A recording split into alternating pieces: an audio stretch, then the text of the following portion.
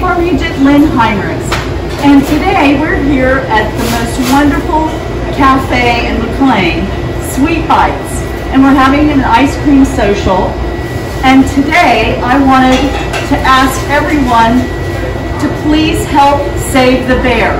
State Farm is retiring our good name bear next year. He's being forced into retirement because State Farm says nobody knows who the bear is.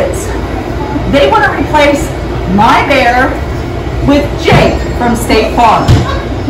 So, if you want to save the bear, go in and like Sweet Bites Cafe on Facebook or Lynn Heinrichs State Farm Facebook page.